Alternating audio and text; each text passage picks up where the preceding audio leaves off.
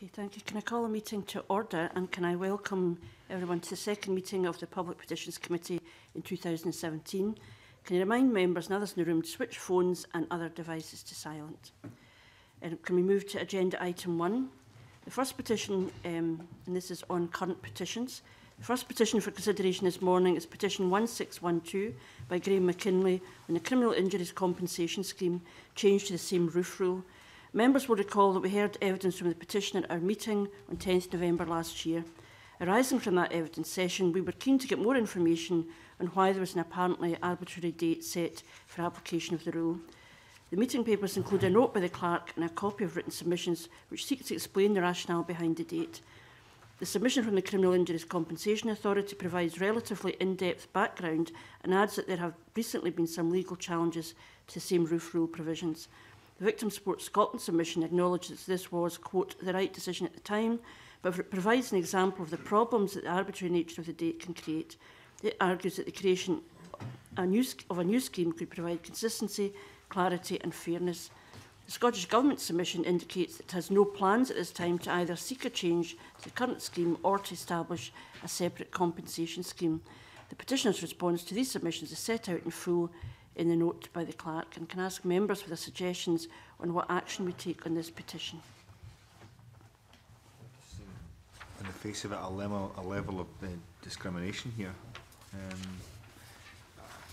ah, it's, yeah, it's the Justice Secretary. We could write to Justice Secretary. And, I mean, there, there's some really well laid out points here. Um, that maybe we should, mm -hmm. we should be sending to, to him for his consideration.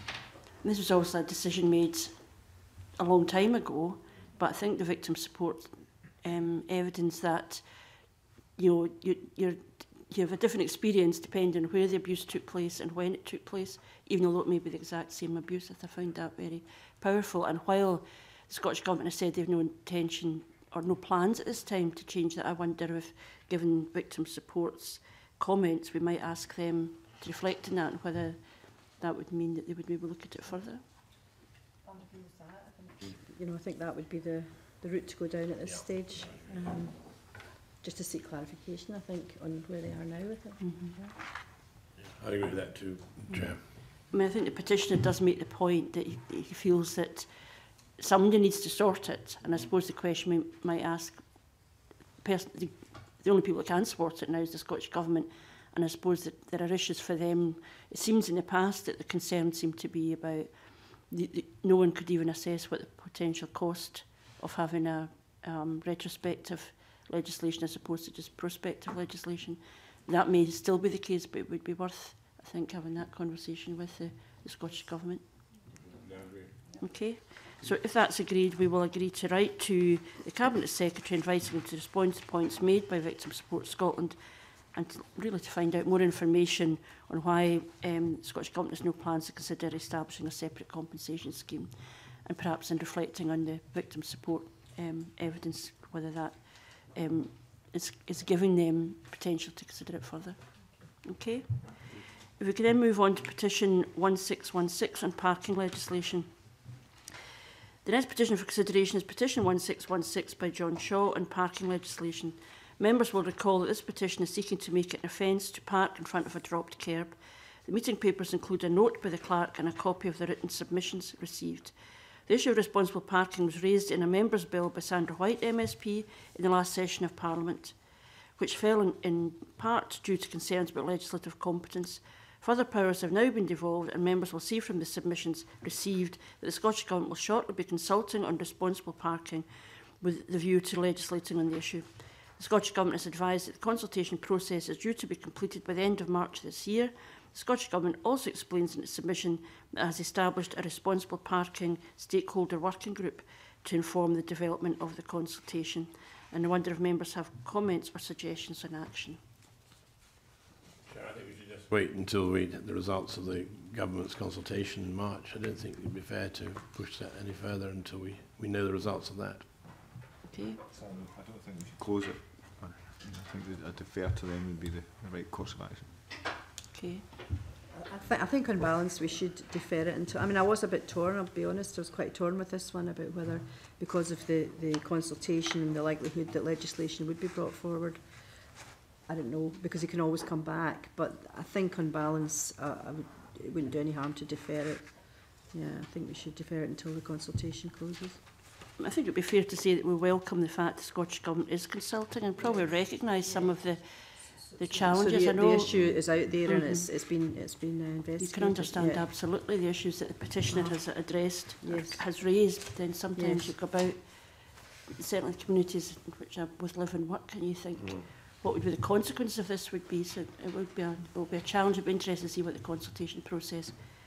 brings back. But there's certainly no doubt that the impact of irresponsible parking on particular groups is massive. So we agreed then that um, we we will um, defer further consideration until the consultation is complete. And, I, and I'm, I don't know if I need to say this to the petitioner, but I'm assuming that the petitioner will be engaged in the consultation process itself. And it may be that something more generally people would be interested in responding to. Okay. Okay, if that's agreed, we can move on to petition 1617, proposed health study um, on vaccinated versus non-vaccinated. The next petition is petition 1617 by Angus Files calling for a health study of vaccinated compared to non-vaccinated people. The Scottish Government has responded to a request for its views in the petition. That response provides some telling statistics and makes it clear that the Scottish Government has no plans to carry out such a study.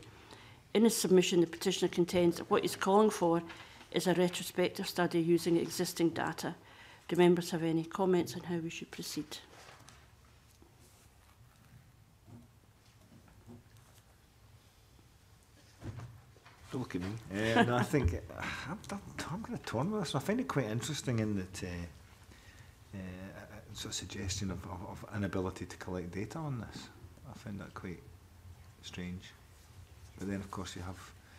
Is that not because in order to have data, you'd have to have people that were not vaccinated, that didn't know they were not vaccinated?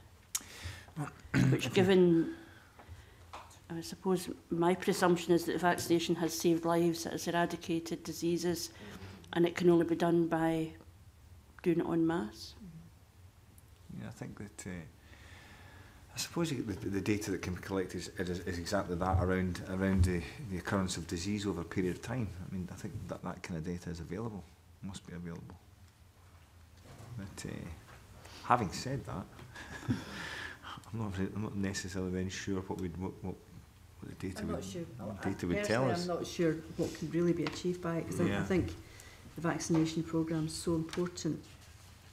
And I, I, I really don't think it's feasible. I don't think it's feasible what he's asking, and I can't quite see the point. Um, Angus?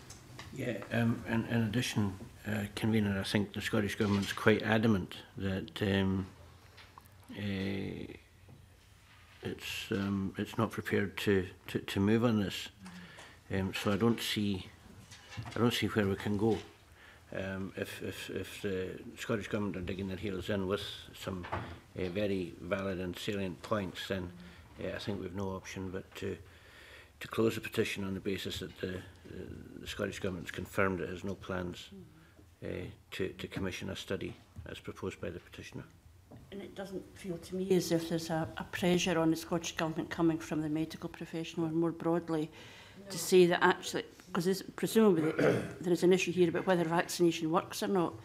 I think the, the kind of certainly the view I would hold is that there's evidence that vaccination does work, but it in, in most cases only works if everybody gets vaccinated, if there's a if the general population is vaccinated.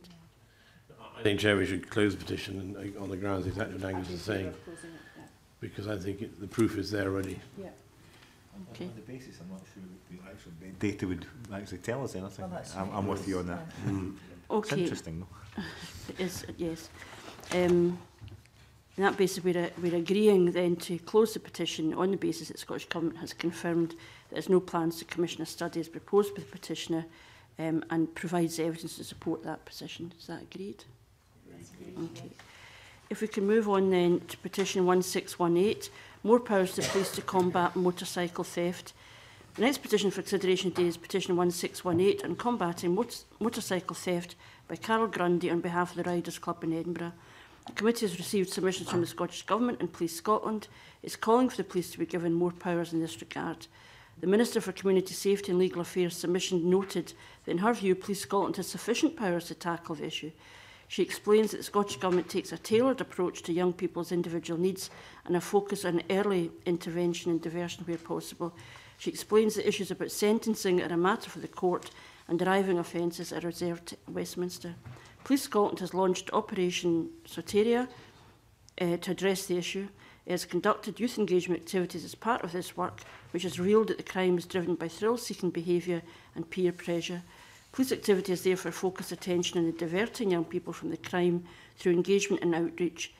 In its view, a multi-agency approach is required to tackle the crime. Members will also see that a number of us met with the petitioner informally to discuss the terms of his petition. A summary of that meeting is provided in the clerk's note. He raised a number of concerns about community safety, insurance and also the impact on motorcycle tourism. I wonder if members have any comments or suggestions for action. I had a chat with um, some of the sort of Edinburgh uh, eh, MSPs, like formally just to gauge, gauge their one if they if something that they recognised, or and uh, two what they thought about it. And, and what seems to be coming back is that uh, they, they know it's an issue and that the police have actually uh, started to tackle it. Um, after after uh, that we actually met with the petitioner, so I, I would be keen to. The early intervention thing, I think, is, is um, something I'm, I think is very interesting. I wonder how we could further that and, uh, and understand how that is working.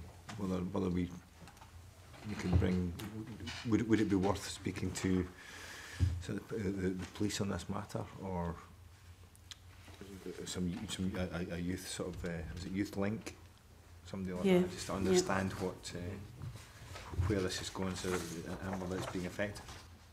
Yeah, I think when you look at Scotland, Police Scotland's letter from, from last November, I mean, they've, they've clearly, you know, taken it on board um, and there's been so many initiatives put in to try and combat this. And I mean, I think it's fairly comprehensive what they're trying to do. So I think the multi-agency route would be the one to go down and certainly write to YouthLink and find out what they can suggest.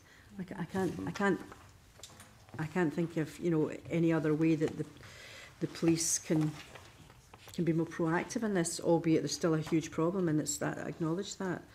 Um, it's, it's a really difficult one. The, the petitioner it just lifts off the page their frustration, uh-huh, and, yeah. and and not because they don't want to engage with young people, they don't understand it. I think even when we met with them, absolutely. This, was... I suppose the only I, I do think we should write to.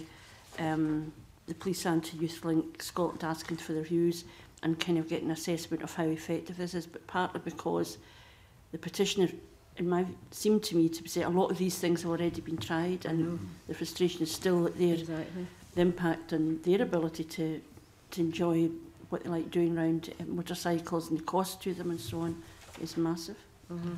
I think also, Jeremy, it would be worthwhile writing to visit Scotland and seek their views as well, because um, we're, we're seeing that the, the trend is in the summer months mm -hmm. and mm-hmm. what have you, and that's, of course, mm -hmm. when we have our tourists. Mm -hmm. And I think that might be useful. Okay, so we're agreeing to um, right to Youth Link Scotland, right to visit Scotland, and I suppose to recognise that we'd be interested in how these interventions are actually working. You know, because it's one thing to say you have, a, as the minister describes, a multi-agency or whatever. Um, I can't remember what phrase you used, but it was something very um, unusual phrase, but that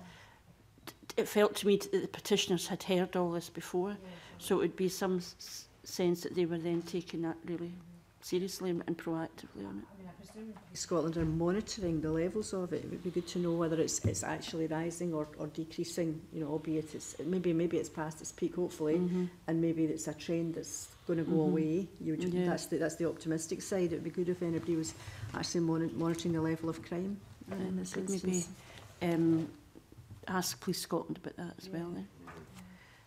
Okay. Um, and I think it's fair to say we do recognise strength of feeling in this petition and the concerns that people have. And our um, view that this is something that needs to be, you know, action on it needs to be sustained if the petitioner's kind of concerns have to be addressed. Okay, if that's agreed, we can move on to petition 1621, sepsis awareness, diagnosis and treatment. The next petition is Petition 1621 by James Robertson on sepsis awareness, diagnosis and treatment. The clerk's note provides an overview of the submissions received with comments from the Scottish Government, Healthcare Improvement Scotland and NHS board, boards referring to the Scottish Patient Safety Programme and the prioritisation of sepsis as a work stream within that programme. A number of submissions refer to Sepsis 6 and the National Early Warning Score System and health boards indicate support for the action called for in the petition, while noting that there has been a demonstrable increase among healthcare professionals of the awareness of sepsis. The petitioner, however, notes the comments of some boards in relation to any unintended consequences of a public awareness campaign and would like to see a coordinated approach to raising public awareness developed across the country. The UK Sepsis Trust and the Fiona Elizabeth Agnes Trust provide illustrations of the work that have they have undertaken to raise awareness among health professionals and the public. And I think it would be worth commenting actually on the, the number of submissions we received. I think we, I would certainly think we'd be appreciative of the fact that so many people had taken time and the boards had taken time to respond. But I wonder if members have any comments or suggestions for action. Can I say at the outset, uh, I registered an interest. Um, the petitioner is a, a constituent of mine, and he asked me to say that he hasn't um, in his submission, he didn't make comments to the Fiona Elizabeth Agnew Trust because he hadn't seen it at that point. He just asked me to mention that. Um, but I'm supportive of, of this petition and would um, would suggest that we write to Scottish Government to see if it has plans to institute a, a, to, to start a public awareness campaign across Scotland other than the um, you know some of the boards have said yes that the, the, the awareness has been raised and they're doing what they can. But I think um, I think it's a big, big issue, and I think it, there needs to be an initiative to say we're taking it on board, and it has to be rolled out. Okay. Any other comments, Angus? Yeah, thanks, um, um in I'm struck by the fact that uh, in relation to, to raising awareness among the public, Um, Dumfries and Galloway, Forth Valley and the Western Isles uh, health boards have raised concerns about potential unintended consequences uh, and that it might cause alarm and generate an increase of uh, worried patients attending a GP practice or, or A&E. Um, so perhaps, um, you know, it would be good to get the Scottish Government's stance on that if, if we were to, to write to them um, because clearly there's a, maybe a balance has to be made. No, uh, mm-hmm. sorry, Joe, I think it's important to, to, to get the Scottish uh, government's view and obviously establish where they are on this because, as Angus is saying, there's, there's differing situations through the counties. Yeah. So I think it's important. We need to establish a sort of base on this. Mm -hmm. I think I would be a bit concerned if you didn't have a public awareness scheme in case yeah. people became publicly aware and, the cons I mean, people who are the, the worried well or people who are you know prone to to be concerned about conditions you know I wonder that must be more than balanced out by making professionals and people aware of how they can keep themselves well. Okay, so we're agreeing then to write to Scottish Government um, to ask about its plans for a public awareness campaign and probably the point Angus makes, what judgments do they make around this question of unintended consequences? hierarchy of yeah. boards, but it's still worth mm-hmm. asking. Mm-hmm. Yeah. Okay, if that's agreed, then we can move on to petition 1623, unelected church appointees and local authority education committees. The final continued petition for consideration this morning is petition 1623 by Spencer Fieldays on behalf of the Scottish Secular Society relating to unelected church appointees and local authority education committees. The meeting papers include a note by the clerk and copies of the written submissions received since our previous consideration of this petition in November. The Scottish Government indicates that it has no plans to change the provisions but refers to its Education Governance Review, which has recently closed and which sought views in the legislative framework that should be put in place to support education in Scotland. COSLA regarded that review as an opportunity for community representatives to um, participate actively in the consideration of education services I also noted that, with regard to the action called for in the petition, its members did not feel that non-elected representatives carried undue influence. Submissions from Muslim and Jewish representatives did not directly support the action called for in the petition, but considered that there might be options to more widely reflect diversity in communities. The Scottish Parent Teacher Council suggests that education committees could, quote, reflect the population of our schools more effectively. The Equality and Human Rights Commission referred to its submission on the previous petition this issue, petition 1498, particularly its comments on the requirements of the public sector equality duty. This was echoed by representatives of the Jewish community and was also noted by the petitioners who note that to date none of these issues have been addressed. The petitioners maintain their position that the system is unfair and discriminatory, particularly in the light of changing demographics. And I wonder if members have any comments or suggestions for action.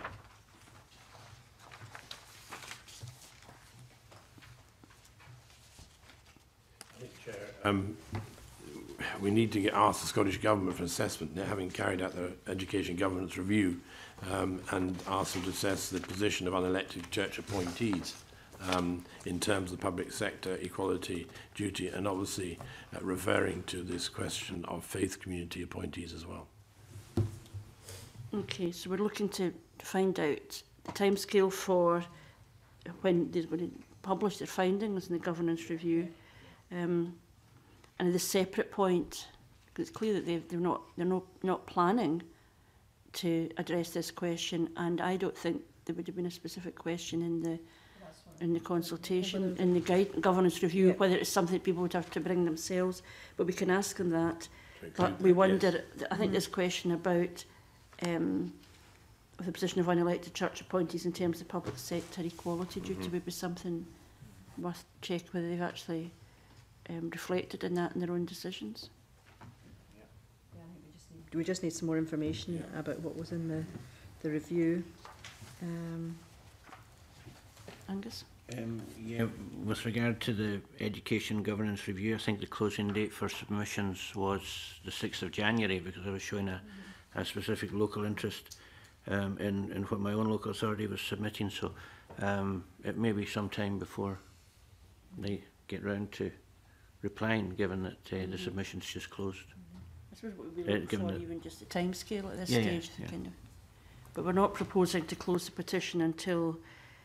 um, we ask them, I think specifically in this question, have they, have they followed their own responsibilities around the public sector equality duty? But it's clearly, there are, to me, there are strong feelings on both sides. Mm -hmm of this argument. And maybe there is, what's interesting is whether there's a middle ground somewhere that pe if people are aware of that. But, um, you know, I think we want, we would want to know about the, the governance review and if anything comes out of that, but also whether actually right at this point is um, raised by the Equality and Human Rights Commission. I can only assume that the Scottish Government will, in responding to any of these questions, will have taken, because it is an obligation on them, that they will have assessed it in those terms. So is that, um, is there anything else that people think we should be doing in the petition at this point? Fine. No? No, I think we're fine. Okay, if that's agreed, can move on. And can we suspend briefly till we uh, bring in the um, witnesses for the next petition?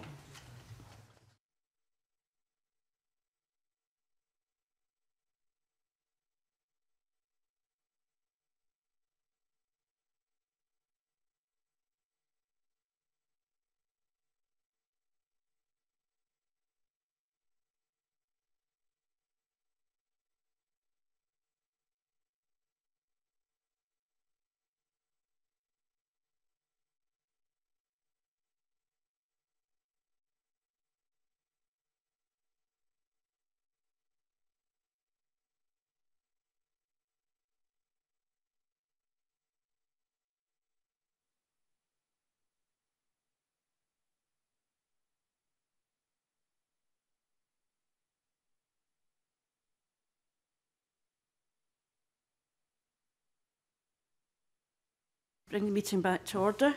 Um, we're now dealing with agenda item two, new petitions. And the first of these is petition 1628 on consultation and service delivery change for the elderly or vulnerable. And can I welcome Mike Russell, MSP, who's in attendance because of his interest in this petition. The next petition is petition 1628 on consultation and service delivery change for the elderly or vulnerable. The petition is by R. Maxwell Barr on behalf of Struan Lodge Development Group and Dunoon Community Council. Mr Barr joins us this morning and is accompanied by Kenneth Matheson, convener of the Dunoon Community Council. Can I thank Mr Barr and Mr Matheson for attending this morning and may I invite you to give a five-minute opening statement, after which I'll invite members to ask questions. Uh, thank you, Chair. Um, we're very grateful for this opportunity. Um, and I'm sure you've all managed to read the petition and know all the... So I won't go over that in any way and just move on to some of the key points coming out of it. As you know, we, the petition is about the guidance in respect of changes to service delivery in health and social care. And when I look at the guidance, the guidance in informing, engaging and consulting people uh, is issued through Cell 4 2010 and it relates to a period therefore before the integration of health and social care um, And as a result of that, the, the, it's also before the existing, existence of integrated joint boards and only refers to NHS boards. It therefore allows an integrated joint board um, and, and any health and social care corporate bodies to dispute the legitimacy, in fact, of the guidance to these bodies. I mean, I think the spirit obviously is that they should accept it, but the fact is that it does give them the chance to object to it.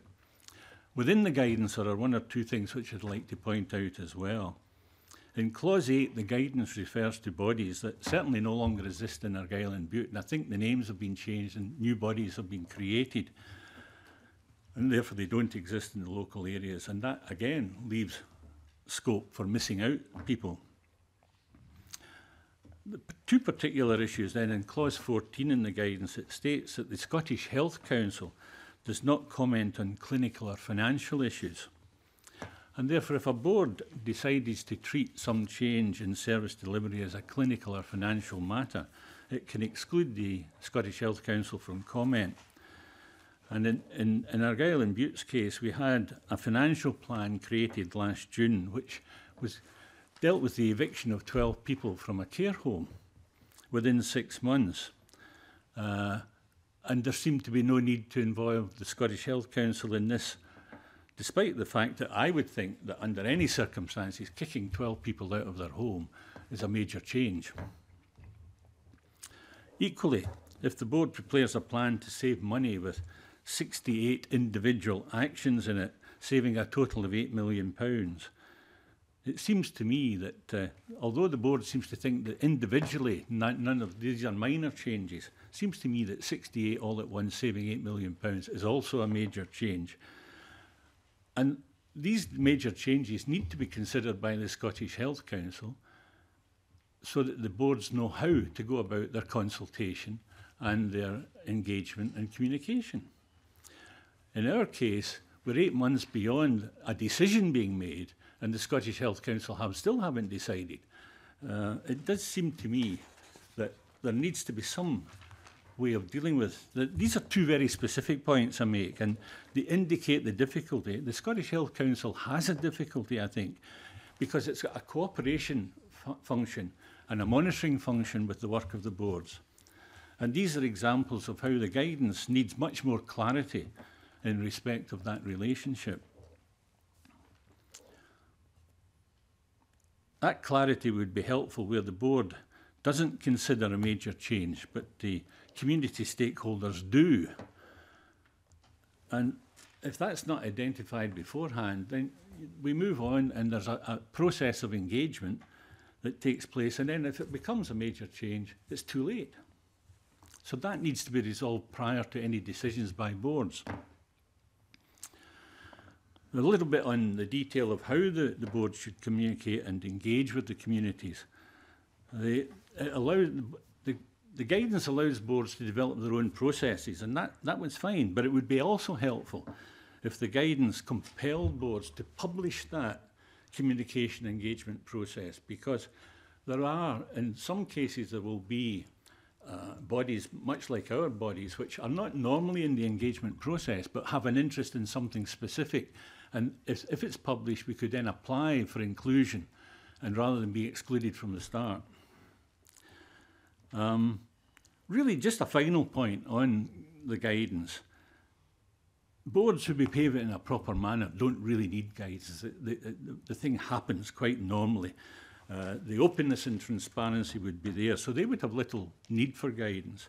But when you get a board like the Argyll and Butte IJB, who failed in this regard last June, when you require guidance, and that guidance really needs to be far more clear and definitive in order to ensure compliance. And I, we're concerned not just about Argyll and Butte, but this is a new setup for the integration of health and social care, and there are bound to be other integrated joint boards throughout Scotland that are going to run into the same problems. Thank you. Thank you very much for that. And I think that um, certainly in reflecting on what you've said, what we're interested in, in your petition is what are the general kind of lessons to become from a specific experience. We, we are keen to kind of explore um, that with you. Do you think part of the issue is that you're dealing both with local authority forms of accountability and engagement and health board ones? And I would have thought that some of the organisations might get involved at local government level health on the health side would not necessarily be consulted and is there something we need to do around that? It's an, interest, it's an interesting point and in fact we had a, if you just the, the, the, the just leave it it's okay. yeah the technician will deal we had that. an interesting point in that, that particularly the Struan Lodge and this is very specific when I, I talk about this Ron but with Struan Lodge there was the council moved to close the home three years ago and we, the community disputed that and it was kept open.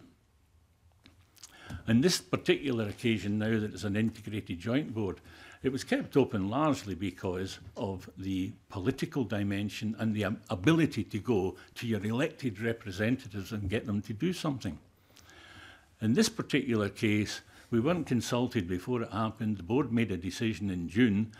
Uh, they were given a number of opportunities to change that decision at board meetings prior, but we then had to get the, in the intervention of our MSP and our local councillors before there was an, there has now been an intervention and there's a pause in the process uh, and we are having some community engagement which is working reasonably well but there's still an argument about whether it's a major change or a minor change and it's your point that if it's defined as a minor change this is a broader question that we're all wrestling with across Scotland if yes. it's defined as a minor change, it, if, it were, if that's to change, it's too late by then. Absolutely. I mean, we've got a situation where we're being consulted now about something that's been decided. And when you make comments about it, the public just come along. We had a public meeting and they say, but what's the point in talking to us? You've decided what you want to do. Mm. And that doesn't help in any way to get the public on side. If, I mean, the, we're talking about a funding issue, and we everybody understands and recognises that money is short. There's not hundreds of thousands of pounds around the world that we can draw on for these things. But it therefore it's important that communities are involved and get together to try and find ways forward that will work for them. Okay. Thanks for that. Uh, Rona Mackay? Thank you. Good morning, Mr Barr, Mr Matheson. Can I just ask you, Mr Barr, um, can I return to the issue you talked about in your opening stage, uh, statement about guidance?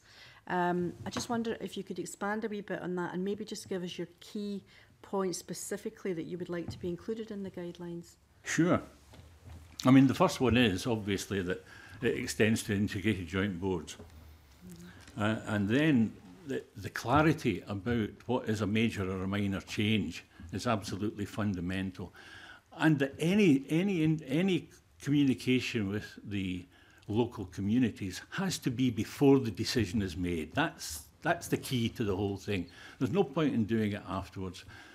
Um, and, and then making sure you get to the right bodies because the other thing you find is there are a plethora of local groups And it must be very difficult for the board and for the health and social care partnership to know exactly who they should go to, which was the other point about compelling them to publish their communication processes in advance so that groups that have an interest can apply to be involved. Better signposting then is what you're saying. Yeah. yeah. Okay, thank you. That's helpful. Morris Corey? Uh, thanks, Chair. Um, may I declare an interest? Um, a couple of things, Chair. Um, I was, I'm a councillor with Argyll Butte Council, and I was also chairman of the IJB board, the Integrated Joint Board, in June 2016. So I'm fully aware of what Mr. Barr is talking about, and, and indeed the angle that he's coming from. Um, and I think it's important that. Um, uh, I would like to keep this as, as a generic level um, as to what we can do to learn lessons, if that's the case, and what we can do to do things better. Um, and I am aware of the, the six month uh, moratorium uh, that's going on at the moment, and I welcome that uh, to, to, to, to try and get this resolved and also to get uh, greater engagement with the local community. But, Mr. Barr, in, in your petition mentions how decisions about service delivery can be particularly distressing to service users, and I can concentrate on that. Um, what could be done in the consultation process, in your view, to minimize the stress caused to elderly or vulnerable service uh, people um, whilst ensuring that their views are heard, which is really relating back? back to my comment. I find it's quite. I mean, I find this easy from a Struan Lodge point of view. Mm-hmm. More difficult from a general point mm-hmm. of view, mm-hmm. because we did have a Struan Lodge development group. We had a strategy document, and what could have been done, we could have been properly consulted over our strategy document and what it was about, and we could have been engaged in talking to the relatives of the residents of Struan Lodge. So you come back then when you're looking at all the other care homes around the country the key is you have you have to engage with the, the relatives very very early, and you also you, you have to also take on board when you're dealing with vulnerable adults and well into their 90s, some of them, that you can't shut something like that in six months. And if you've got a financial problem, you have to work around that because it takes far longer to deal with it. If you throw a 90 year old out of a care home within six months, they don't fit into a new home. We had a resident came from Butte to Struan Lodge and they were lost for a while. They wander around the care home lost, un unable to know what to do.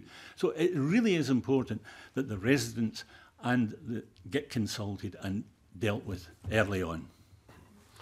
Um, can I just further say, I, I mean, I, as you're aware in, in the brief, I, I asked a question in, in, in the Chamber to the Minister of Public Health, or sorry, to Cabinet Secretary, but in fact, uh, the Minister of Health, Public Health responded, Chair, uh, uh and it was quite clear that statutory responsibility for delivering commissioning services at a local level is left to the NHS boards, i.e. and the, the joint board. Um, so, so that's something that maybe we need to address later on.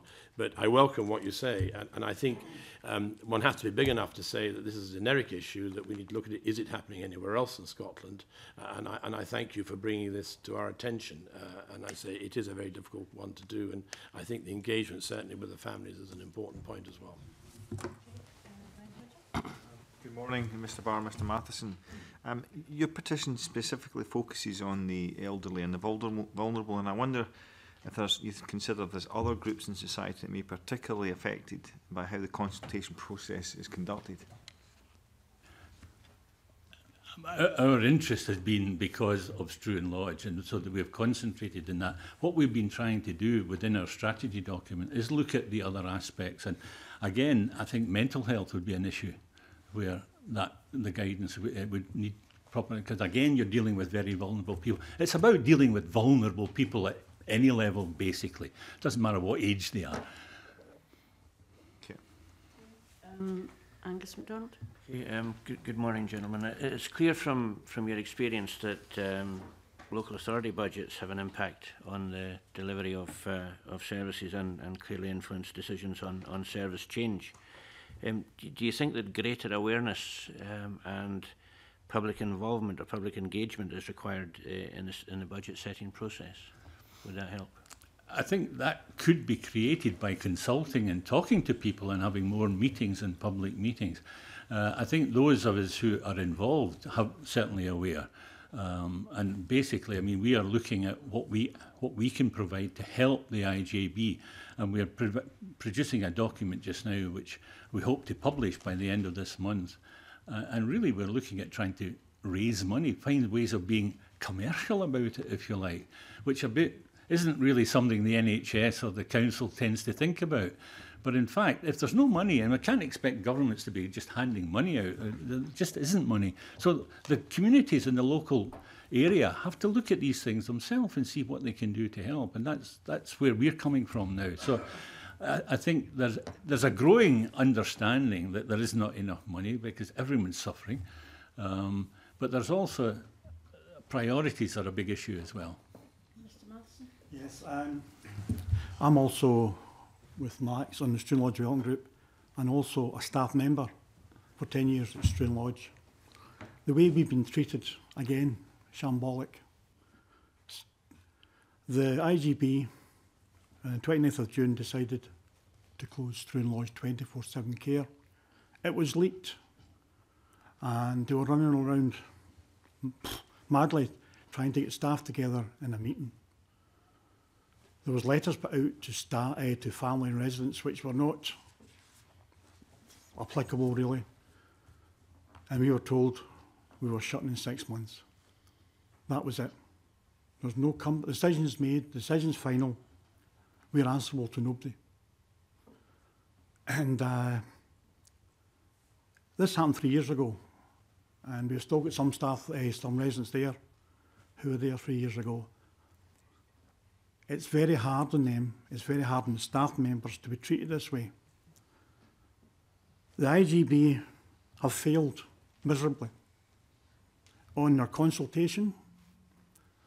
Uh, I am in the comms engagement group, and it's the conversation cafes the way they went down, which um, the Green Community Council had a motion put forward.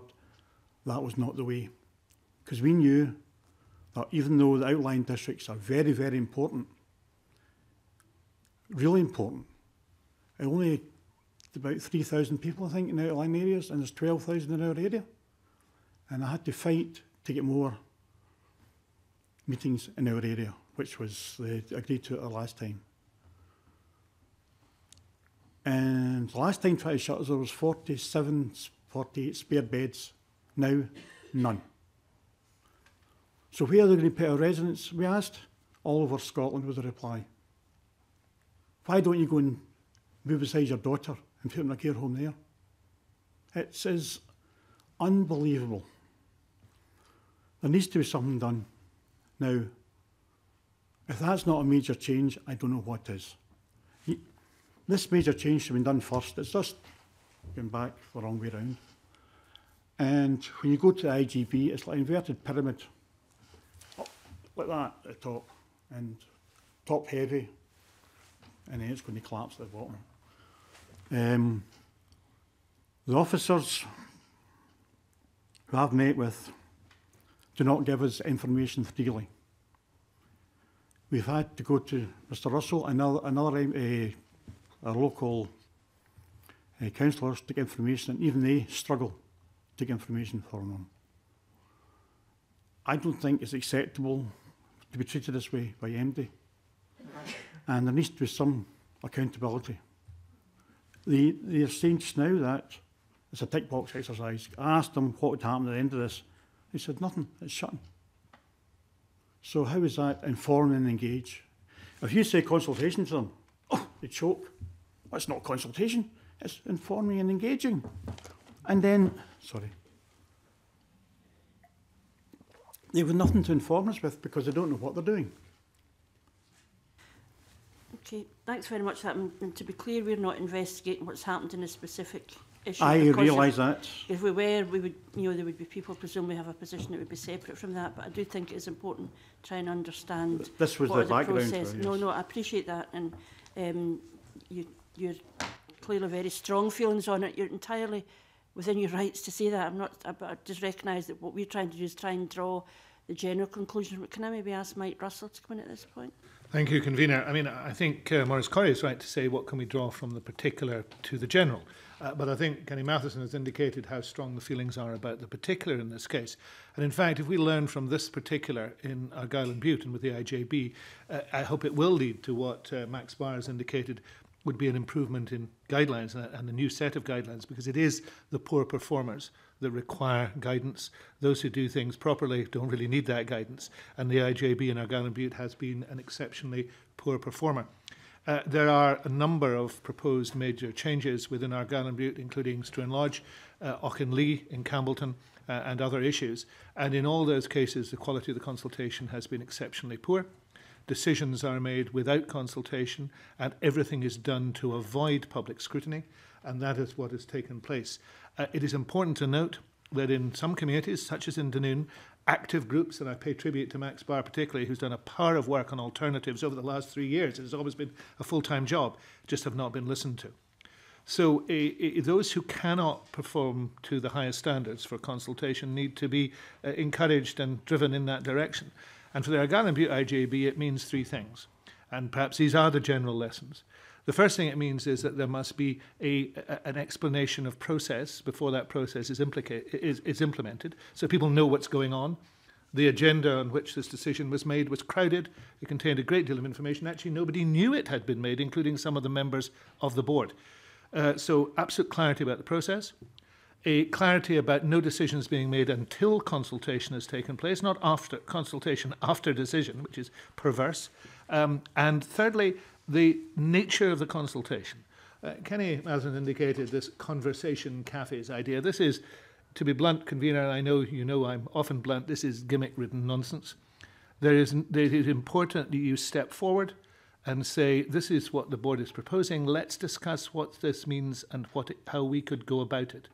Because people are not resistant to change if it is explained to, to people and if they participate in that decision. But if there's an attempt to enforce change by sleight of hand, and that is what we have seen, then there is undoubtedly a strong public resentment. So I do hope that the particular in these cases can inform a general set of guidelines that will drive poor performers such as the Aragall Island IJB into far better performance. And it's early days for them, and therefore there's great disappointment that they've chosen to behave in this way.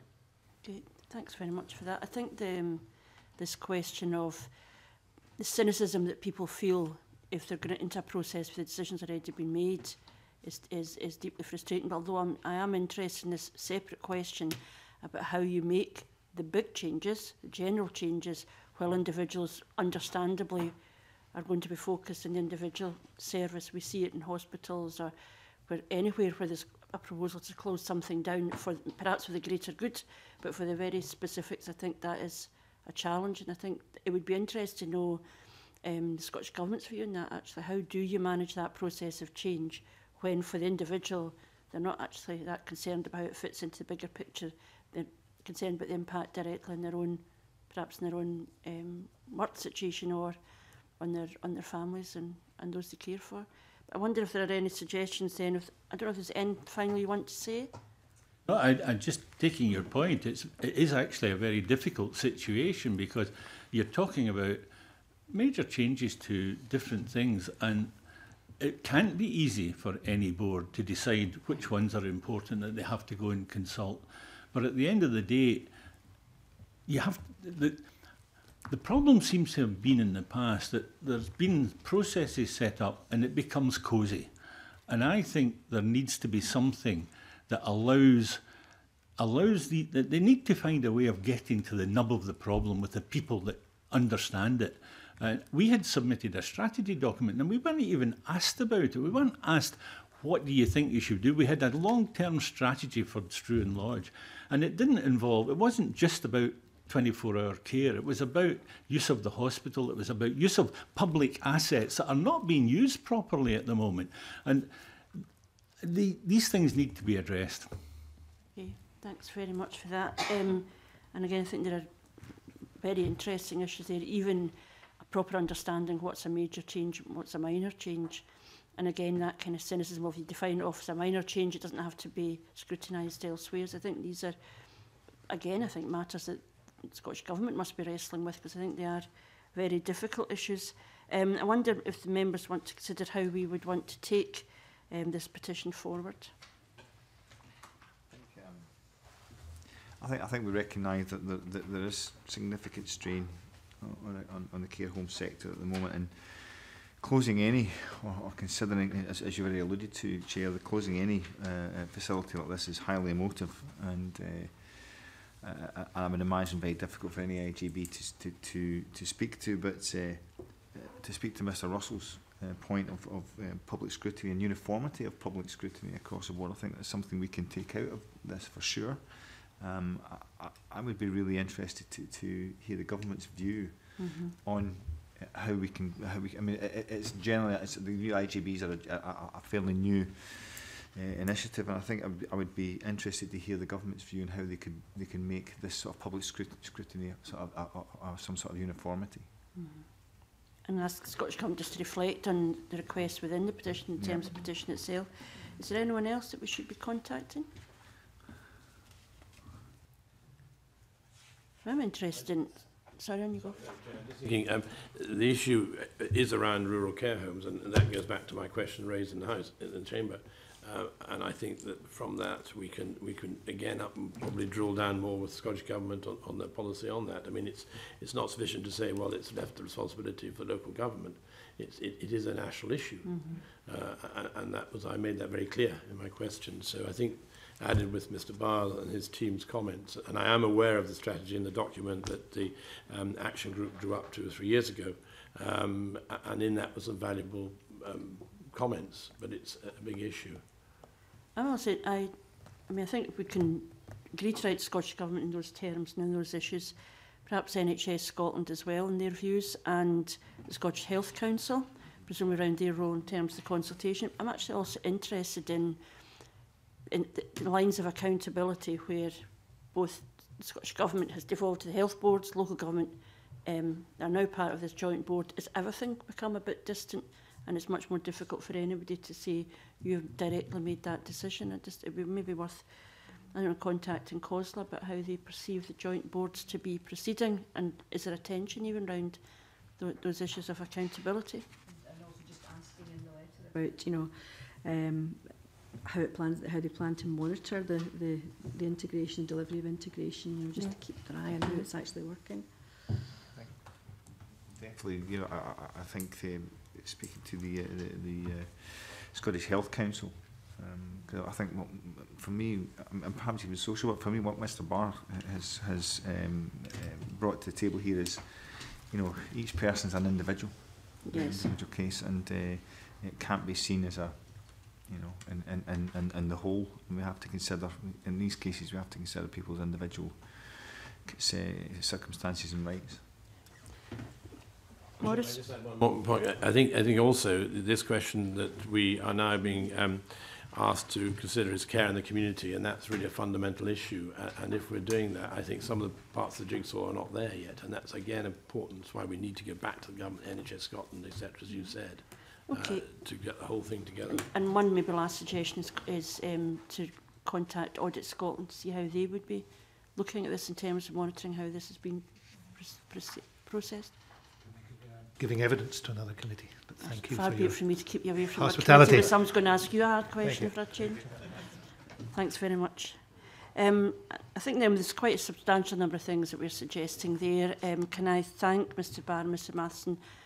for their attendance and their presentation. Um, and we will obviously be coming back to you once we have got response to the correspondence we've um, created and terms of your petition, but if I can thank you just now, and can I suspend the meeting briefly for a change over of witnesses?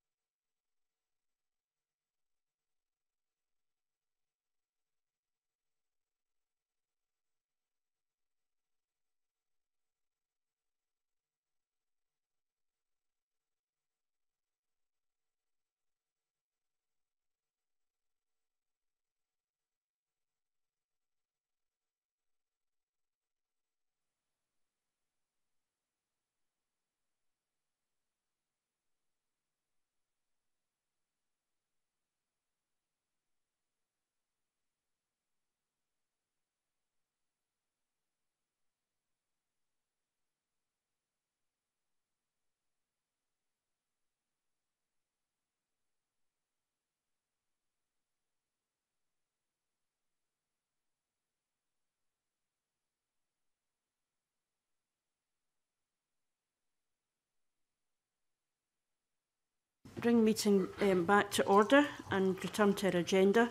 We're now dealing with petition 1629 um, on MRI scans for ocular melanoma sufferers in Scotland. The petition is by Jennifer Lewis, who is here to present evidence to us this morning and is accompanied by Ian Galloway, who is a member of Ocumel UK, a charity that supports sufferers of the condition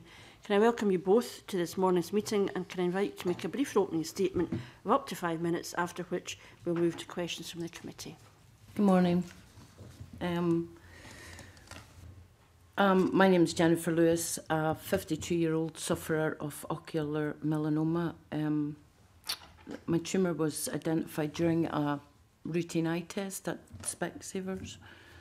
Thankfully, it was a very good optician who um, noticed noticed that uh, it's known as choroidal ocular melanoma, for which I had um, treatment in Naval Hospital in 2013 with plaque radiotherapy. At that time, I was informed that at the point of di diagnosis, I was informed that this type of cancer was very rare and could potentially spread um, to my liver, and I would have to attend Naval Hospital for the remainder of my life for surveillance scans. Um, also, uh, the Scottish Re representative for Ocumel UK, whereby I am the point of contact for newly diagnosis, diagnosed um, patients in Scotland who would ring if they need any support. Um, they would phone me and phone the charity in England. I'm the local point of contact. Um, I would never have received support for this this cancer, which I'd never heard of if it hadn't been for this small one and only charity in England. Um, I would never have had the opportunity to meet other sufferers of this rare cancer if it hadn't been for our charity in England. Um, I'm here because I'd, I would like to bring it to your attention that in Scotland we're only offered ultrasound abdominal ultrasound scans to try and serve, track any um, metastasis to the liver. Yet in England, fellow sufferers and patients are offered MRI scans, which give um, sufferers in England the chance to for their cancer to be detected early, um, to have appropriate treatments and to be entered into clinical trials. In Scotland, we don't have that opportunity, and that, that's what I'm here for to try and urge NHS to change their opinion that ultrasound scans are sufficient. Um, I brought Ian with me. Ian is re represents Ocumel UK, but he is also a sufferer whose cancer has moved from his eye to his, to his liver. Uh, yeah, hello. Uh, my name's Ian Galloway. I'm a stage four ocu ocular melanoma sufferer. Um, seven or eight years ago, I picked up something in my eye. I was um, given plaque radiotherapy, where they sew on a radioactive uh, plaque onto the outside of your eye and leave it there for three days. It burns the tumour off. Uh, unfortunately, two years later, in 2012, it started growing again. Um, so they've removed my left eye, and I now have a prosthetic left eye. Um, and 18 months after that, um, thankfully, because I was receiving um, six monthly contrasted diffusion weighted MRI scans, they picked up metastases in my liver, which is 90% of the time, this is where the disease spreads, and 50% of all sufferers get metastases. It's a very common spread with this cancer. Most, you know, half of the people uh, have spread over time. Um, but thankfully, because I was picked up quite early, I was able to have the cancer removed, and that was in 2013. And to date, my scans have been clear and I live a full life. I've got a young family, a young son. Um, I work full time. Um, and most of the people I meet who have survived the metastatic stage of the disease um, for any number of years, when you speak to them, they've always, uh, without any exception that I can even think of or have come across, had MRI screening because that picks up the disease at a point where it's able to be treated with ultrasound because it often appears in lots of different lumps. It's not just one discrete nodule or lesion. By the time you spot it, there might be dozens of a similar size, and it's too late to do anything. And that seems to be the case across the across the globe. And we've collated a set of patient stories for you. I think I gave them to Tristan to hand out, but at some point we'll get them to you, and which summarises our position. And again, I'm here with Jenny because I work on behalf of Ocumo UK. I also run the MP in a Euro- pan-European rare melanoma group. And I spoke at ASCO, which is the American Society for Clinical Oncology's um, annual meeting in the US in Chicago. Uh, we were talking about patient involvement in screening and um, patient-directed research.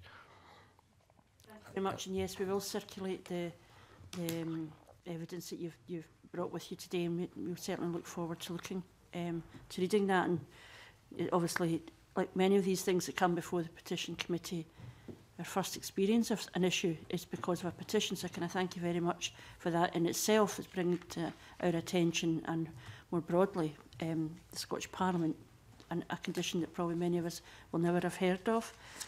Can I say that in the first part of your petition um, summary, it calls for NHS Scotland to recognise patients with ocular melanoma. And in the background information, you say that GPs do not understand this condition What do you think might be the reason for GPs not understanding the condition? And do you have any thoughts on how this understanding might be improved? Because it's so rare, and the the number of patients, the number of patients in Scotland that present to their GPs uh, is minimal.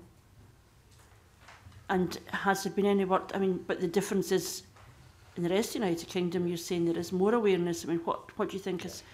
Um, allowed that to happen? Um, I think, I mean, from my own personal perspective, and certainly those I've met, I mean, doctors aren't aware of it because it is a very rare cancer. I think it's six or seven in a million uh, people per year have this. And, and, and sometimes you speak to a GP and they say, oh, I've only ever seen this once before. I've never seen it before. Often you're reliant on then getting referral to a specialist centre. And I think key has been the referral to specialist centres. Um, so people will go to Moorfields in London or Sheffield or Liverpool And at that point, the patient will be given leaflets and information because there are specialist ocular oncologists. Um, but it usually uh, involves the patient's GP acknowledging that they don't know much about a rare cancer, they can't know everything. In my case, my GP was just very proactive and did some research, but that obviously isn't the case for everybody. They escalated me to a local eye centre, who then recognised that there was a lump in my eye. And at that point, I was seen by a specialist centre. So, so the more rapidly you can be uh, uh referred to a specialist centre, not just secondary care a local consultant, but then a tertiary care centre, of which there are three in England, um, the better. And that's where the more information about the de- disease can be imparted to patients. I don't think it's possible at the absolute lowest primary care level because it's so rare. Okay, thanks for that. Morris Corrie? Yes, thank you very much indeed. It's interesting and, and uh, eye-opening. Uh, do you think there's a link between any lack of understanding of the condition and the absence of the provision of MRI scans? If one of you, both of you, would like to answer that. Uh, um, uh, most certainly, yeah. I think I think what's unique in this cancer is that perhaps with other cancers you, you have um, screening regimes that take place subsequent to the you know, primary disease having been resolved, uh, perhaps in breast cancer screening and so on. But there doesn't seem to be a, because it's a rare cancer, there isn't much in place at the moment and there's little understanding of the disease. However, because in 90% of the cases when it metastasizes, and this is in 50% of all cases, um, you're going to see liver metastases, and most of them are going to be appearing this kind of peppered, what they call miliary, this kind of dotted throughout, so you can't cut them out. If you take 100 patients with eye cancer, within five years, 30 of them are going to be found to have metastases in the liver that's unresectable. A further 20% will present in elsewhere, sometimes in the lungs, sometimes in the spine, but lot, very by and large, you, you can find these metastases and you know where to look. So with, with ocular melanoma, it's on a plate, if, if you like. You can just look in the liver and receive MRI scanning, and you will pick up 30 of these patients with whom you can then do something which you couldn't were it the case of the ultrasound, because ultrasound is often picking up the disease too late to do anything about it, because you, you're getting dozens of these, typically, as I mentioned, this diffuse nature, you have dozens of lesions. And if you see one at one centimetre big, it's, you've got dozens of that, and you've usually got 25 to 50% liver involvement, and it's too late. If, however, you pick up this with MRI scan. There are now lots of new treatments. I'm talking about the last two or three years that are keeping people alive for a long time with high quality life, and in some cases they're curative. And I think to answer the question directly, that is because there's a lack of understanding about the nature of the disease and its mm -hmm. metastatic presentation, if you like. Thank you. Jennifer, you want to? Um, my experience is uh, being sent for ultrasound scans. Gartnavel tend to push people out to local hospitals rather than um, do the scans themselves. The local hospitals don't have, the stenographers don't have the, the ultrasound scanning stenographers don't have the expertise to know what type of lesion they're looking for. And in my own experience, stenographers have admitted, I've never heard of your condition, I don't know what um, type of lesion i am looking for. And I ended up having an MRI scan by default because the ultrasound scan came back inconclusive, because the stenographer, so the stenographer admitted that, they, that she wouldn't be able to recognise what these lesions would look like. So then Gart Neville pushed me off to another hospital to have an MRI scan, and that's the only reason I got one, because um, the fear was there that there was something wrong. I don't trust ultrasound scans because I know there's um, they don't work for us. You know, you would get a scan once every six months and go home and still be very anxious. I, would, I, I wouldn't trust it. I don't trust the results. And um, I worry that, that the operator is not competent. And speaking to uh, the Scottish patients that I speak to, everybody feels exactly the same. So mental health wise and anxiety wise, these ultrasound scans aren't doing anybody any, they're, they're not beneficial to us at all.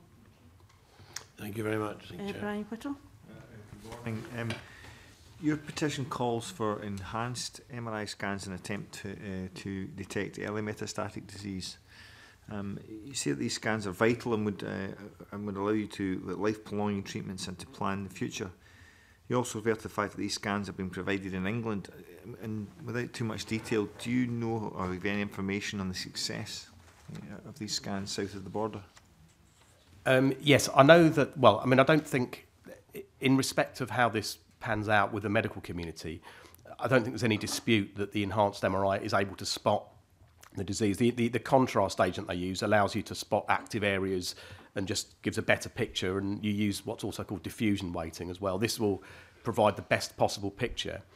Um, I don't think there's any dispute that they allow you to see the disease earlier, but when people are pushed, anyone who doesn't support it, they often say, well, it doesn't make any difference because you're going to die anyway. And I've personally come across people saying that several times. So, irrespective of whether you spot it now or a little further down the line, six months, a year down the line, when it's big enough to be sent an ultrasound, you're going to die anyway. But the evidence is there now to demonstrate that there are, at this point, life saving treatments that treat the whole liver. As I mentioned before, most people can't have this cancer cut out because it, it's just peppered all over the place. So, whatever size you get it, it doesn't make any difference. However, there are now treatments available. Uh, one is called chemosaturation, chemosat, where the liver is isolated and 100 times the usual systemic dose of chemo agent that might be given for another disease, 100 times that dose is given just to the liver for half an hour and the blood flow is controlled and then it's filtered out. That's removed from the bloodstream to the filtering mechanism. And the patient then goes home after a day in ICU. And there are very many patients around who've had this treatment called Delcath Delcath's the name of the company that offer it. Um, who are now surviving three or four years later with very good quality of life. They might have repeated treatments. Um, and this is now calling into question the contention that ultrasounds don't make any difference, and MRIs don't make any difference because you're going to die anyway. You can save people if this detected early with this new treatment. Um, this was presented at several medical congresses last year. Um, and I think there's a big um, reveal coming out in a couple of months. There's a new data coming out that's going to show it even in a better light because because the technique improves as they improve the filtering mechanism and so on. So there are now treatments available. Uh, there are other ones. There's one called Certex. I won't go into too much detail. I've highlighted them on the indicated them in the handout. Um, but at this point, we now know that early detection enables intervention that will save your life or give you several years of good high quality life where you'll be working. And that's what we know from just in the UK, for example. And I dare say elsewhere in the world as well have got similar results. Can I ask you something?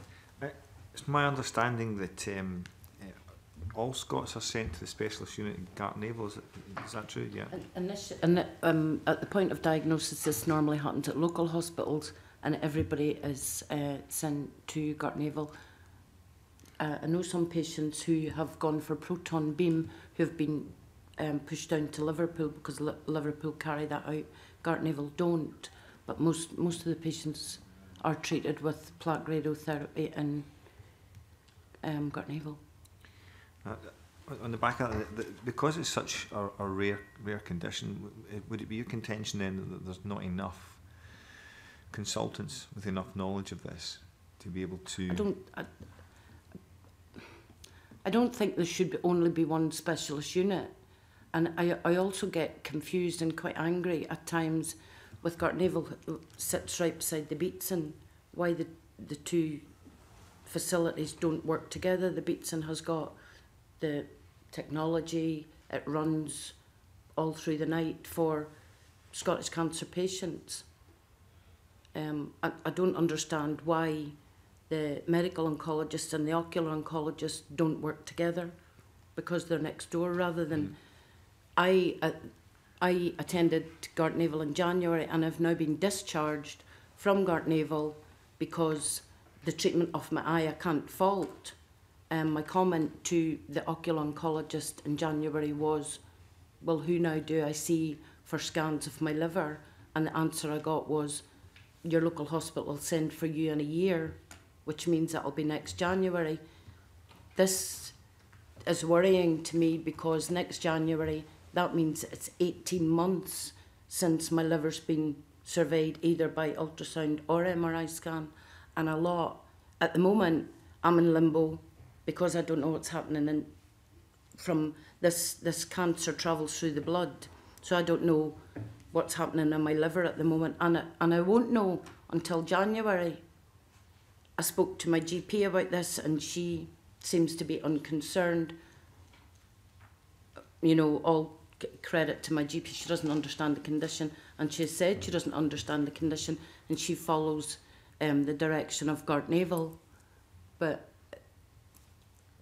it's, uh, I just don't think that ocular melanoma patients in Scotland are offered the same support and treatments as, the, as other cancers. Thank you. Okay. Yes, hello. Um, just to go back to the, the scans again, um, I'd just be interested to know if you or patients that you know have actually asked for e MRI scans when they were diagnosed and were refused, and if they were refused, what was the explanation? I myself have asked for MRI scans. I know there's a gentleman in a public gallery has also asked for MRI scans of the people that I speak to most have. The answer that I got, and you might find this actually quite shocking, I did at the time, was um, if you come to my private clinic in Glasgow and pay me, you can have an MRI scan. Mm. That was my, uh, my ocular oncologist said that. Um, we don't offer MRI scans because when it travels to the liver, there's nothing that can be done anyway. But if you'd had a scan earlier, that could have been picked up and you could have been treated before that happened. Mm -hmm. Yeah.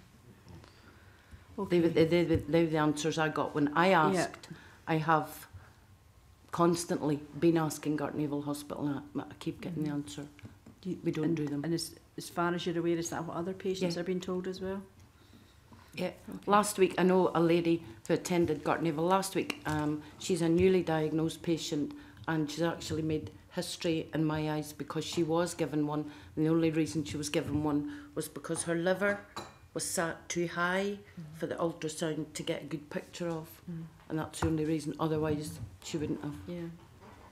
Well, that's, that's interesting. Thank you. Thank you. Maurice Corrie. Thanks, Chair. Um, you state in your petition that you have also written to past and present health secretaries, and the paper prepared for us today refers to the Scottish Government's answer to a question in the Parliament, which I'll now read out. And it says, I quote, current guidance suggests that there is currently insufficient evidence on the benefits of the use of MRI scanning on the detection and treatment of metastatic, of metastatic disease in people with ocular melanoma. What is your response to that? Yeah. Um, I think this is a little out of date. And as um, Jenny just mentioned a second ago, that she'd spoken to a consultant who said, it doesn't matter if you find it in the liver because there's nothing you can do anyway. And eh, unfortunately, there is amongst the, the medical community some sort of lag between what has actually been quite a rapid development in treatments, mm. not just in ocular melanoma. I mean, that, we're going through a kind of renaissance in cancer treatment. You read about it all the time. There's immunotherapy drugs that I'm on at the moment. I mean, I had a lump on my face that it spread outside the liver again. And within two months of that, and that was in that was over two and a half years ago, it just shrank to nothing. And my oncologist couldn't believe it. But of course, all of this is only possible through early scanning. So at the moment, what to try and collate the evidence to indicate that there is a benefit in early scanning and, and, thus there are effective treatments.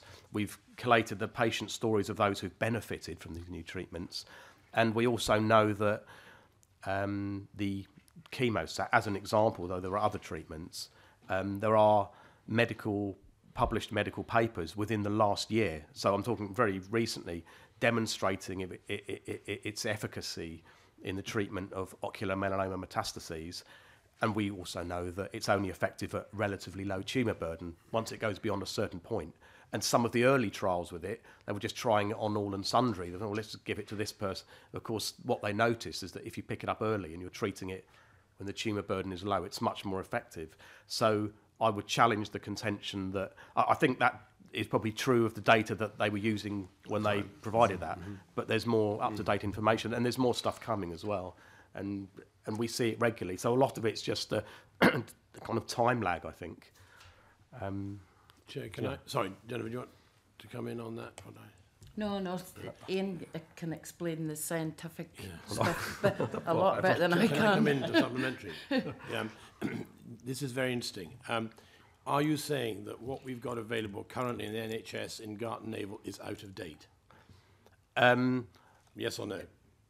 Yes. Right. am um, okay. that, yes. Uh, and I think some of the treatments, it's worth noting, because I know there, there, are doubtless cost implications for the, for the, new treatments and all the rest of it. Many of them are now available on trials. So, I, I mean, I, have got my next set of three monthly scans tomorrow, and I'll find out my results, you know, fingers crossed, touch wood on Tuesday. But if anything goes wrong, I know what I'm going to do. You kind of have a plan B if need mm-hmm. be and there are trials throughout Europe for the latest for this DELCATH. There's another thing called IMC GP100. It's a an American company called Immunocore, but they've been running out of Oxford, and they have a trial for their new drug that's shown great promise. So some of the treatments aren't actually available on the NHS in Scotland or, or, in, or in the rest of the UK via NHS England because they are quite new, but they're available to patients because we're quite aware we can get on these trials. So people are surviving by going on drugs trials, which is useful for hospitals in some respects because it, it comes at little cost to them. Um, or, or paying privately or paying privately. But but um, Delcath treatment privately costs thirty five thousand pounds. So I do know someone who's had several treatments and been surviving longer than I have with the disease, and he's got a more aggressive form. With seven of these that have been paid for because he's got the most incredible cover through Bupa, and um, they've paid for these. But as you, you're right though, I mean some people have just had to pay out of their own pockets, and in the states. I mean, it's very different there, but people, you know, sold their houses to have the treatment but crucially, they're still alive.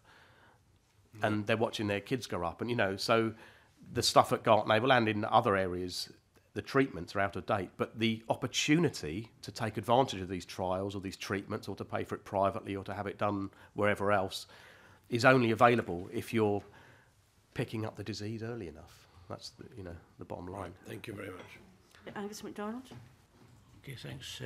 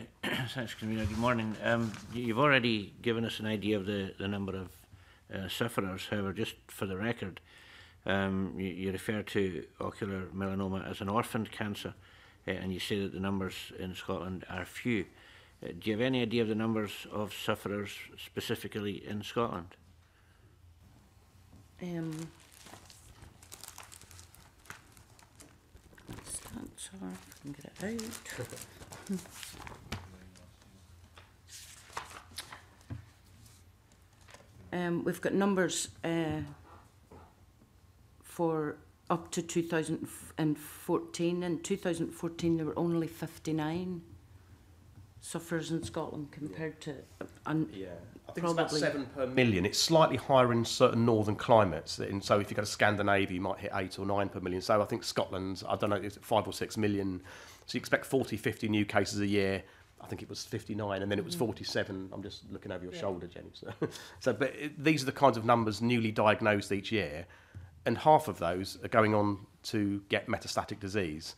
And at the moment, they'll nearly all die. unless you're very lucky, or you pay for MRI scans privately, get it picked up, and then can have one of the new treatments. But these are the kinds of numbers, you know, broadly speaking, because obviously it varies from year to year, but 40, 50 something in Scotland, newly diagnosed ocular melanoma each year, half of whom will metastasize. Okay, thank you. Thanks. I, uh, would, I suppose on that point, I mean, the idea of an orphaned disease that you don't get attention paid to because there's so few of you, the other side of that is that there's so few of you, there's not a massive cost implication of, mm -hmm. of, of dealing Absolutely, with that yeah, problem. Yeah.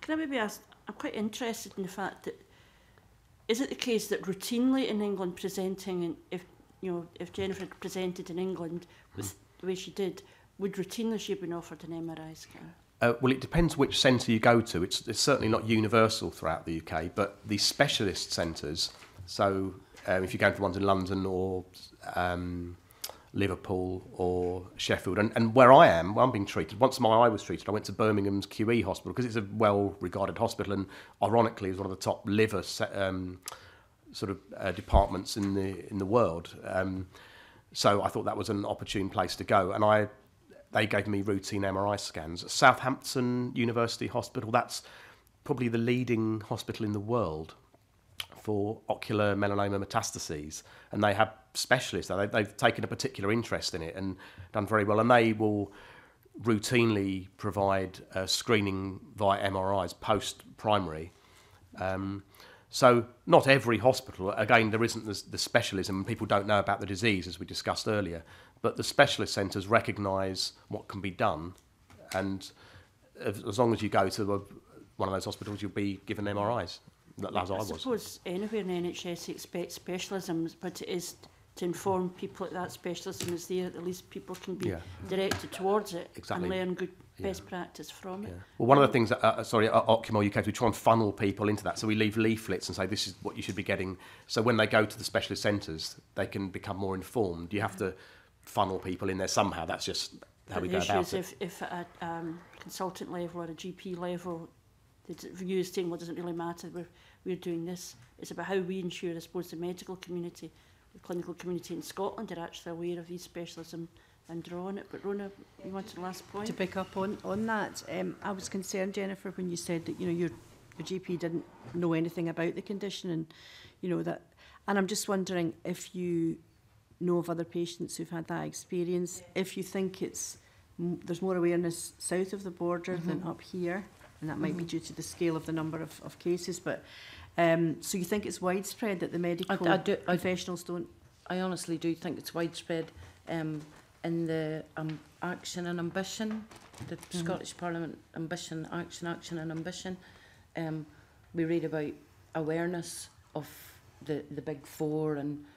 awareness of the different cancers that, that should be pushed mm -hmm. out. I actually think, for the sake of all of us, for the education of GPs, education of mm-hmm. hospitals, and for the general public, there should be an awareness of eye health. Yeah. Because as I went to the optician to get, I had no symptoms, no nothing, just to get a new pair, of, fancy new pair of glasses, and I ended up with being told mm -hmm. I mm-hmm. had ocular melanoma. Mm -hmm. For the grace of God, go I. It could be any of us. Mm -hmm. I really think there should be. Yeah I mean, I think that's that's where opticians, you know, should be well praised for, for picking up these things mm. and how, mm. uh -huh, how yeah. important it yeah. is that you, you get regular eye checks. Mm -hmm. But it's concerning that when it gets beyond, you know, when it goes from them to the some of the medical profession or some GPs, they don't know what it's about. Well, when I went to my GP, I'll tell you a funny. You might think it's funny. Tell you a funny story. My GP said, "Well, you don't have. Um, this isn't a life sentence. Go home and watch Breaking Bad." I didn't even know what Breaking Bad was, but I went home and asked what this program was and found out what it was and wasn't too enamored at the comment that I'd got, mm-hmm. but it showed me his knowledge of my condition was not there. Yeah. I actually gave him one of ocular melanoma leaflets and pleaded with him to look up the site that this would give you a little bit of information about why I'm so worried. Mm-hmm. Yeah. And went back the next time and, and he hadn't. My, I was at my GP two weeks ago to ask because I'm concerned about when my next liver scan will be, and she said, "Oh, it'll be in a year." They don't. They don't get how anxious. Mm-hmm. Yeah. That this That's makes really all of concerning. us. Yeah. Mm-hmm. Yeah. One might not necessarily expect the GP to be fully informed in everything, but mm-hmm. they should be receiving information. Yeah. That, mm-hmm. you know, so that it's at the next level up. There's also a concern that there seems to be a gap between what happens in Scotland and elsewhere. I don't know if there's any last comments you want to make. We will distribute the handouts that you brought with you. Yeah. Um, um, I, I would just like in the you know in the chapter five of the um the action and ambition it it is dotted all around it about early detection and diagnosis. That's what we're asking for. You know, eye cancer isn't in this policy. Okay. Could could we please be included in this policy? for early detection and diagnosis. That's what we need. Okay. Can we have any Good. suggestions then on how we take this petition forward?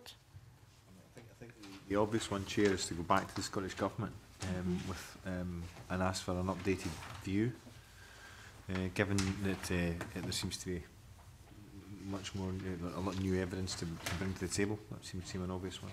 Okay. And yes, I agree, I agree entirely with that. And also some of the cancer uh, support charities, Macmillan Cancer, Cancer mm-hmm. Research, OQML, to get their views on, on everything that we've talked about today, mm-hmm. really. And is there a case for contacting the, I don't know what they could call themselves, the opticians, professional bodies? Because they quite often develop a lot of policy in these areas.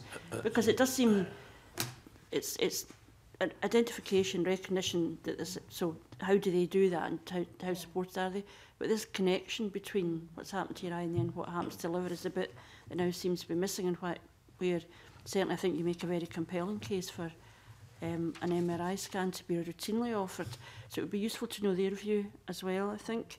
Um, Can I also, sorry, just, mm -hmm. maybe the GP Association of Scotland, general practitioners, that should be, they should be included yeah. as to why this message is not coming. Jennifer's been very explicit about that. Yeah. Um, tend, the stories I get from a lot of patients tend to think that um, Gartney will concentrate on the eye, and once the mm -hmm. eye mm-hmm. has been treated,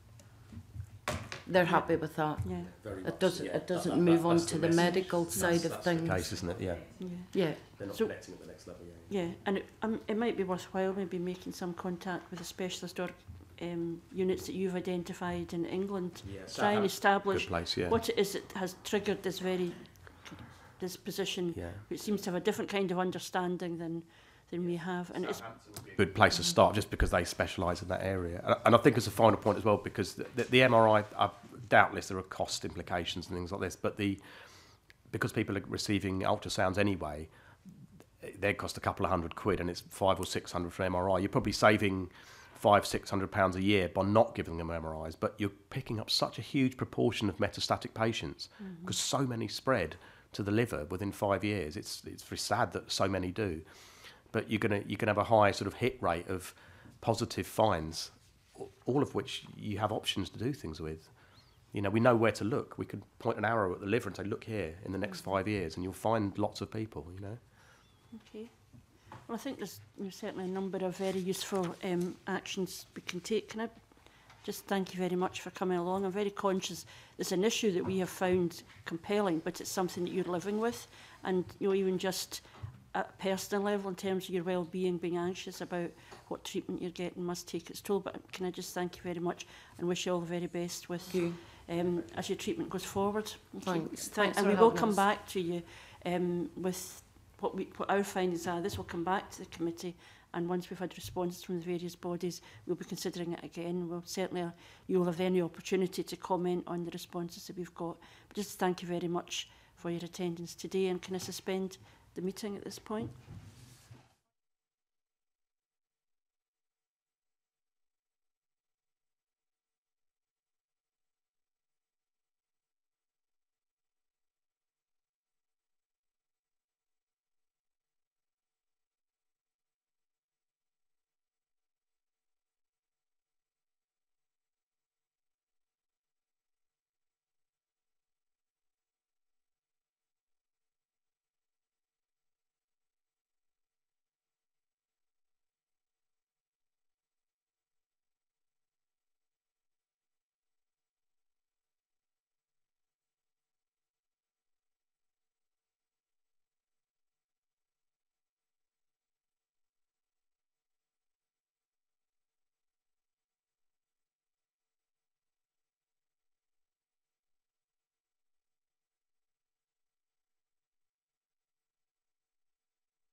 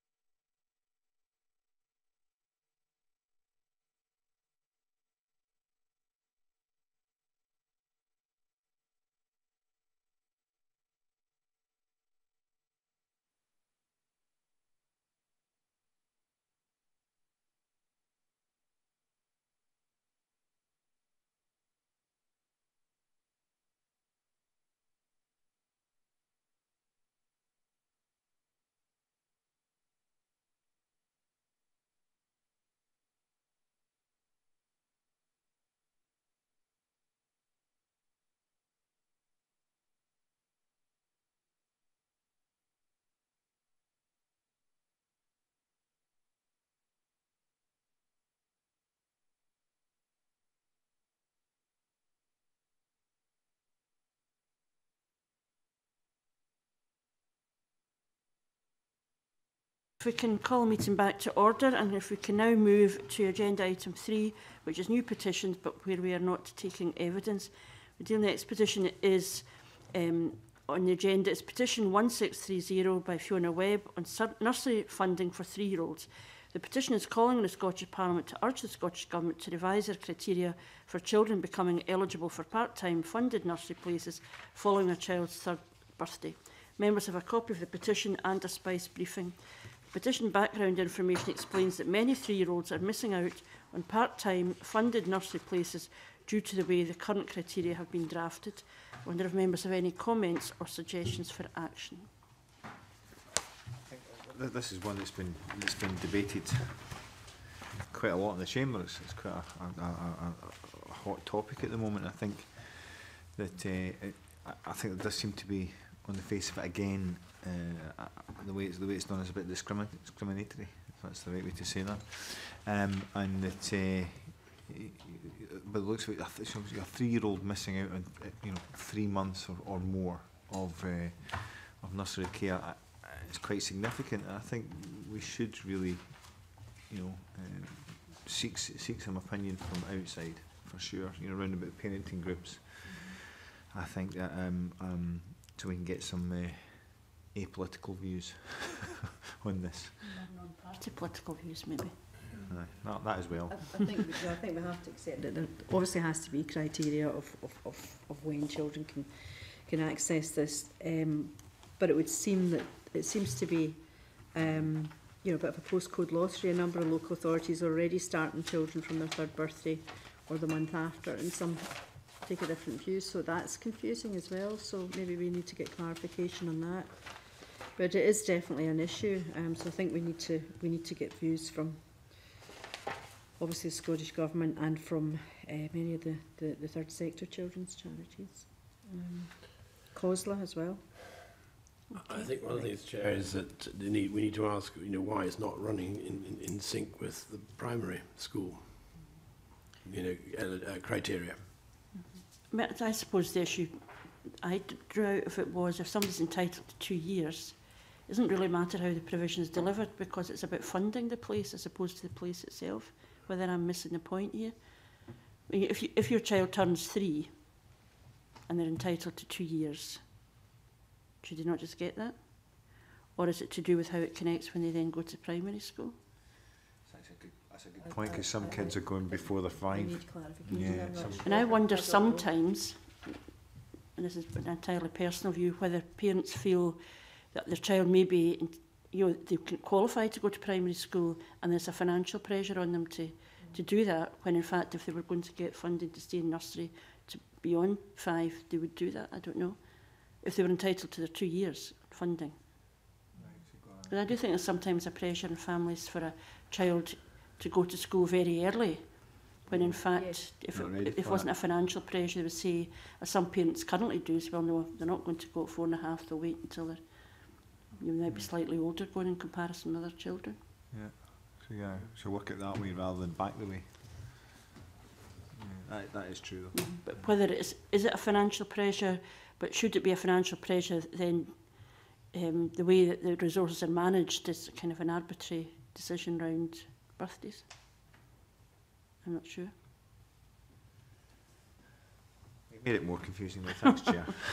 My role in life. Confusing remember there's, this question, I mean, the comparison with the European system, whether, well, coming back to going to primary school slightly later, Yep. um, and whether that's in the mix at the moment, and they've just stuck to the old system, so, you know. I think we have to get the- Saying we have to get the, seek the views and gather them up and maybe ask some yeah. further questions. Yeah, because it would be interesting to find out, I suppose, direct experience, and it may be that at a later stage in the petition we might want to mm -hmm. um, bring in some people who have direct experience of this and exactly what it is mm-hmm. their concern is, but is this just simply, how does this fit in with the broader proposals by the Scottish Government to be much more flexible in childcare and their support for um, access in childcare places? Mm-hmm. And is the, is the, the criteria pretty random and its consequence for individuals so that people are not necessarily getting their full entitlement, which is, I think, is what the petitioner's mm-hmm. view mm-hmm. is. Mm-hmm. Um, they say that um, Scottish Government claims that you are entitled to a funded part-time place for your child, broadly speaking, from the beginning of the school term, starting after the third birthday. However, as my husband and I have found out, is not entirely accurate, as because of birthday cut-off points. So it would be, it'd be useful just to get more information on that. And the views of, as I think I've already identified, Scottish Government, COSLA, and then there's a range of organisations working with, um, I mean, suggestions here, Working Families, Parenting Across Scotland, Fathers Network Scotland, One Parent Family Scotland, Voice Union. It would be useful to maybe to look at what the, the unions are involved in supporting childcare, their experiences. Um, I don't know, there's Perform Scotland, but there are other um, organisations that actually work specifically in child we might want to look at in children in Scotland. Yeah. I'm really interested in the, the as I said, as a three-year-old, a few months is a long time in the development of mm-hmm. development. Mm -hmm. I'm just I'd be interested to find out who who would who would, we'd ask for that. The sort of issues around mm -hmm. development and not or non-development in that, mm -hmm. that sort of period of time. In reality, for a lot of families, is they will, their child will be in a childcare place, but the difference for them is it's not funded. So I, you know, I can understand there are, there are cut-off points that suit the organisation, but if it's only about the funding, it doesn't, it shouldn't, it doesn't feel logical to me to have cut-off points, but that might be something we'd want to explore further um, with the Scottish Government. Is there anything else that we, we might do in this? I think just simply to recognise, I think the petitioner um, has got an interesting petition and brought to our attention is something we'd want to look at further, but I wonder if there's any other suggestions of what we might do? No? I think quite a lot there to start with. Okay, in that case, um, we can close the meeting to the public at this point and go into private session.